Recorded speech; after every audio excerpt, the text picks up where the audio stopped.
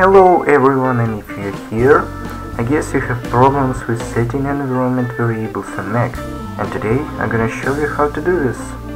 And first of all you need to open a terminal app, it's located in Launchpad, uh, that folder and uh, here it is, terminal.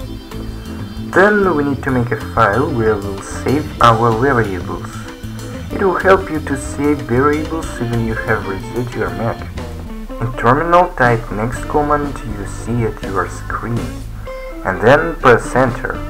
The new text edit window will open and there you should type uh, command export, the name of variable you want and it's important that it must be written with uppercase letters and without any spaces.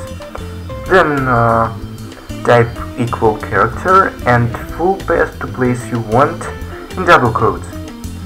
To see the path you need to right click on your file and go to properties and you'll see path over there.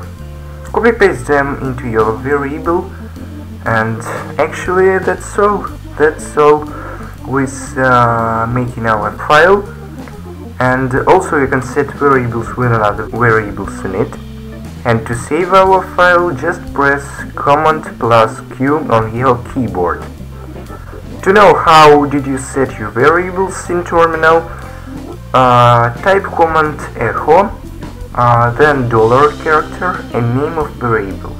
If everything is okay you'll see path to file you just set. I hope I help you and thank you for watching.